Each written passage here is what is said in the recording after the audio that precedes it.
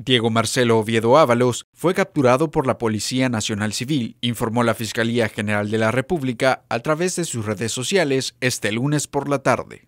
La orden de captura fue girada por la Fiscalía el domingo, mismo día en que realizó un allanamiento en la casa familiar del acusado.